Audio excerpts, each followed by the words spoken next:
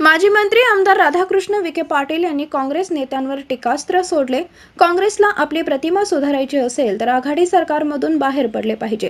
परंतु भ्रष्टाचाराच्या विळख्यात ते अडकले आहेत मंत्री राहिलो तर संरक्षण मिळेल आणि सत्तेतून बाहेर पडलो तर बेड्या पडतील अशी भीती त्यांना सतावत असल्यानेच ते होणे शक्य नाही. त्यामुळे काँग्रेसच्या भवितव्याची कोणालाही चिंता नसल्याचा टोला आमदार विखे यांनी लगावला. असं वाटतं मला काँग्रेसने त्यांची प्रतिभा सुधारण्याच्या दृष्टीने खरं या सरकारतून बाहेर पडलं पाहिजे.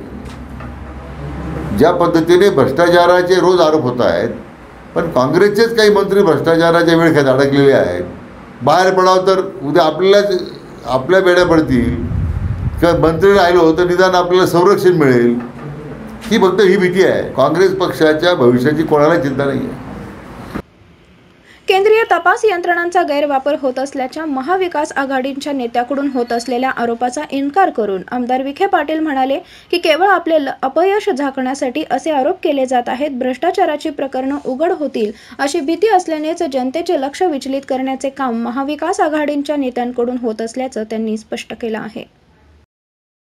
केंद्रीय यंत्रणेचा गैरवापर करण्याचा प्रश्नच उद्भवत नाही. मला वाटतं या महाविकास आघाडी सरकारमध्ये इतके भ्रष्टाचाराचे आता लखतर रोज टाकले जात आहेत.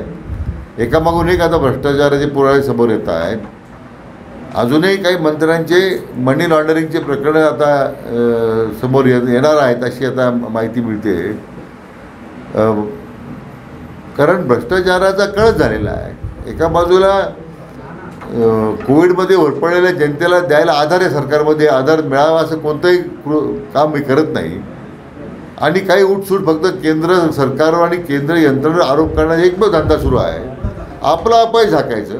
उद्या भ्रष्टाचारामुळे आमच्यावर कारवाई होईल. कारण यांचे भ्रष्टाचार उघड होणारच उद्या. त्यांचे जे कोणी प्रवक्ते आहेत त्या कोणी मंत्री आहेत मग भ्रष्टाचाराचे एक त्यावेळी ज्यावेळी भ्रष्टाचार समोर उघड होणार आहे तर तो झाकण्यासाठी त्यातून जनतेचं लक्ष विचलित करण्यासाठी फक्त आणि फक्त केंद्र केंद्रीय यंत्रणेवर आरोप करायचा आणि आपलं पाप झाकायचं. हा एकमेव या प- आरोपापाठीमागचं एकमेव कारण आहे.